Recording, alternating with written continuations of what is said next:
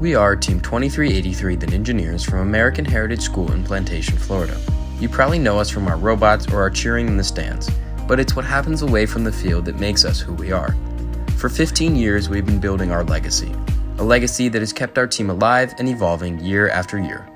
At the core of the Ninjineers' legacy is inspiration, inclusion, and cooperation.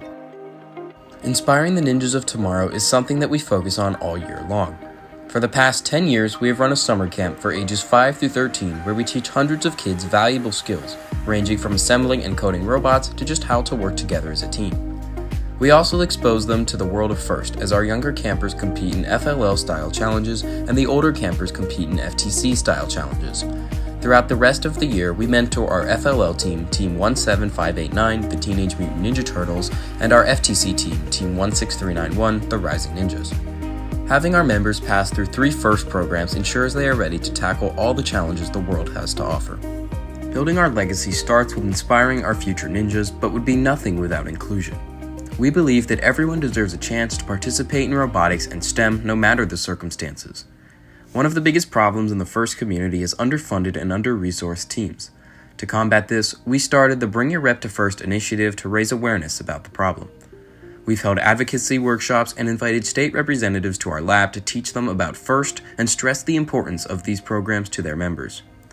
Last year, we started an initiative called Building Blocks, where we help students with special needs participate in STEM activities.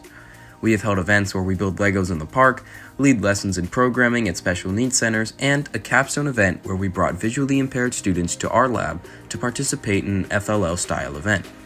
In order to pull this event off, we had to design our own custom curriculum to ensure the students could learn and participate throughout the day. By relying on the feel of the Lego bricks, the kids were able to construct FLL robots to compete in a custom challenge with.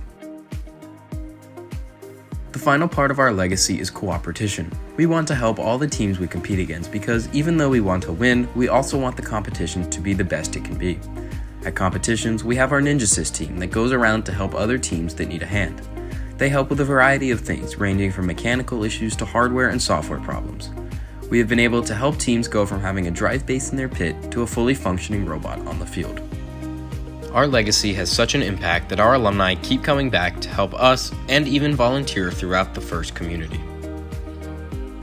So, the next time you hear Go Ninja Go coming from the stands, remember that we go not just towards blue banners, but go towards bringing robotics to all, one robot at a time.